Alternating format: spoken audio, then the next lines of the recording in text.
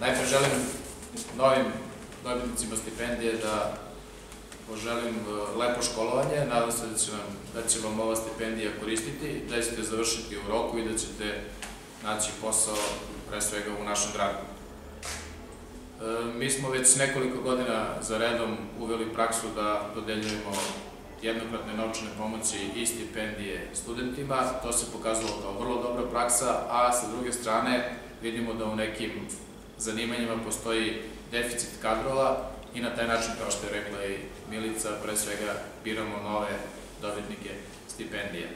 Sa druge strane, mislim da je to putokaz za buduće studente šta mogu ili šta treba da studiraju. Kao što vidite, deficitarne su pre svega neke inženjerske e, profesije, a pored toga vezano i za zdravstvo, a u poslednje vreme vidim da je profesor matematike, odnosno neka profesorska zanimanja su takođe deficitarne. Mi smo od 2012. do 2019.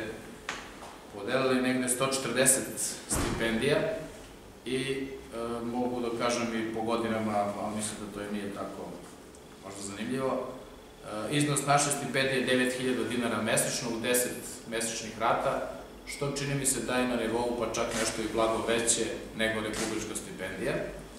A jednokratne naučne pomoći koje smo dodelili od 2012. do sada podeljeno je 778 jednokratnih novčanih pomoći u iznosu ukupnom od 7 miliona dinara.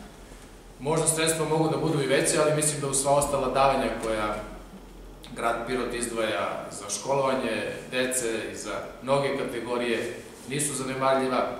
Jednostavno znam pouzdano da ova stipendija i kako koriste studentima u toku mesečnih, mesečnog budžeta. Danas nije biti nije lako biti student, iako je školovanje, da tako kažemo, besplatno u nekim uh, univerzitetima, odnosno na budžetu, ali treba da se plati i prevoz, i hrana, i smešta, i knjige, i tako dalje, i tako dalje. Mislim da je ovo dobra podrška, želim vam da je koristite svake godine, da podsjetim da morate da budete uh, redovni studenti, dakle da obnavljate godinu redovno, onaj ko izgubi godinu gubi pravo i na stipendiju.